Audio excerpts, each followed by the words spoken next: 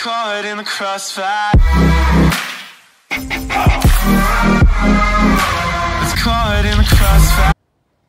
Hello there and welcome to another video. Not so long ago I gave an unboxing of this coffee grinder and it's actually really good. So you can see now it's at home and what I've done inside here, if I just take this off like that, you can see, not very clear, so you've got some coffee beans. I haven't filled it so much. Yeah. Here, because it's only me who drinks coffee, I just put it down to the minimum of two. And here, on the side, I just put it just past medium. You can see down this bit here, it says coarse, and then that down there, you can't see it, would say fine. And all you need to do is to press this button, and I will do some now. I've got the coffee in there, gonna press it, go.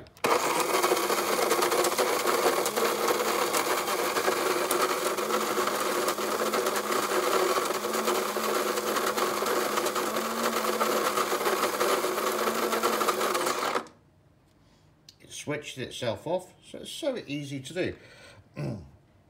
I actually do have coffee in here, so there's more than there. And it just pulls out like that. There you go. I'll do it again here.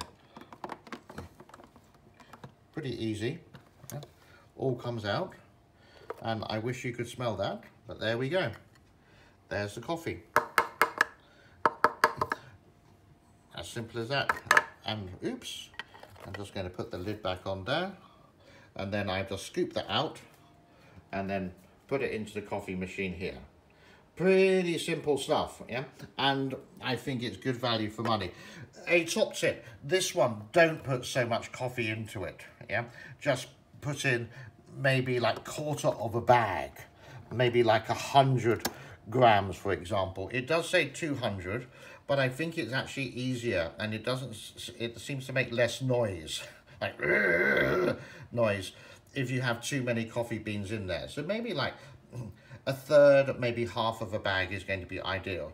So there we go. There's a review of this beautiful coffee grinder. Do like, do subscribe, do share, yada, yada, yada.